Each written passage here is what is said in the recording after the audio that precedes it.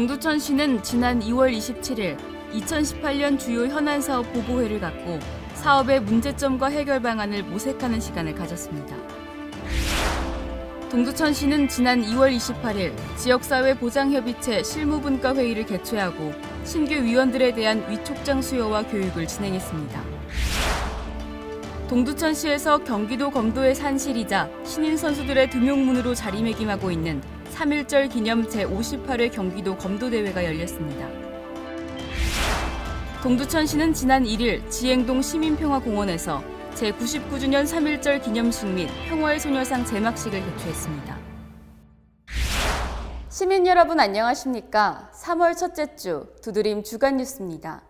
동두천시는 현재 추진 중인 사업의 문제점과 해결 방안을 보고하는 2018년 주요 현안 사업 보고회를 개최했습니다.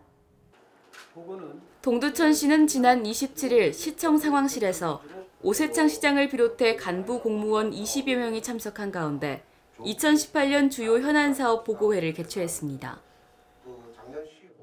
동두천시는 국민체육센터 건립사업, 놀자숲 조성사업, MTB 체험단지 조성사업 등 민선 6기 공약사업 8건과 대규모 건설사업 및 시민생활 밀접사업 25건을 2018년 주요 현안 사업으로 선정하고 매분기 사업별 추진 보고회를 개최할 계획인데요.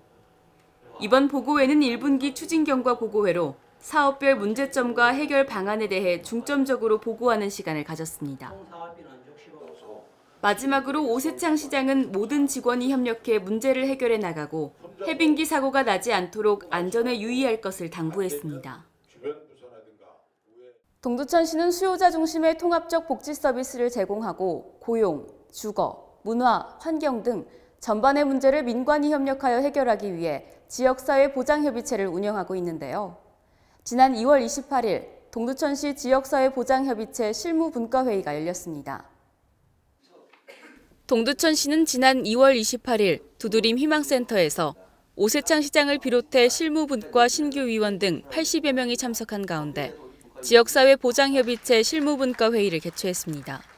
새롭게 구성된 실무분과는 사회보장급여의 이용 제공 및 수급권자의 발굴에 관한 법률 제정에 따라 협의체 기능 확대 및 변경 사항을 반영하고 기존의 생애 주기별로 구성된 분과를 사회보장 10대 영역의 기능별 실무분과로 확대함에 따라 8개 분과 90명의 위원을 위촉했습니다.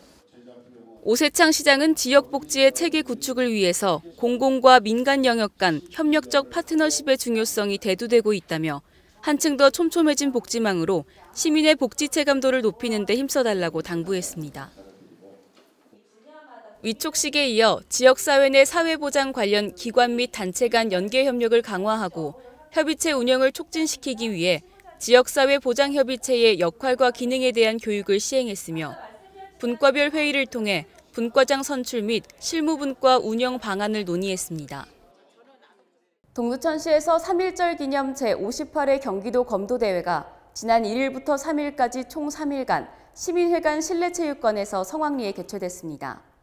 대회 첫날이었던 3월 1일 오세창 시장은 개회식에 참석했습니다.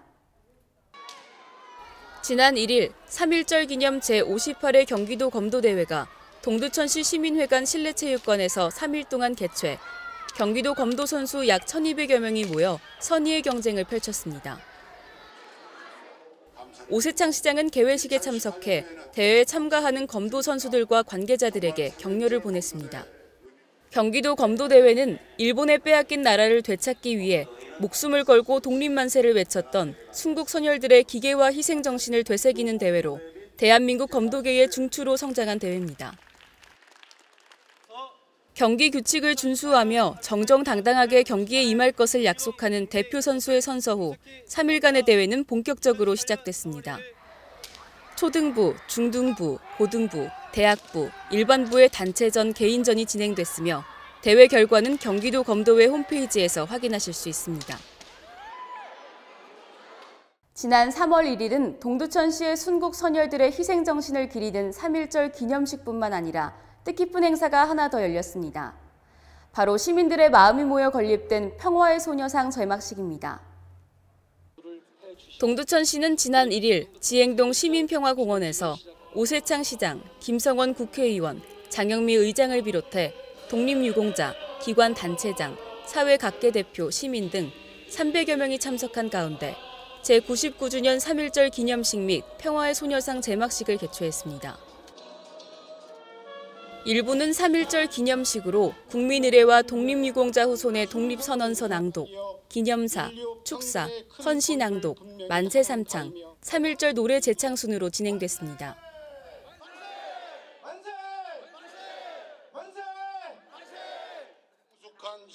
오세창 시장은 기념사에서 순국 선열과 애국지사들의 숭고한 희생에 경의를 표하며 67년간 국가 안보를 위해 많은 희생을 한 동두천에 평화의 소녀상을 건립하게 돼 진심으로 기쁘게 생각한다고 말했습니다.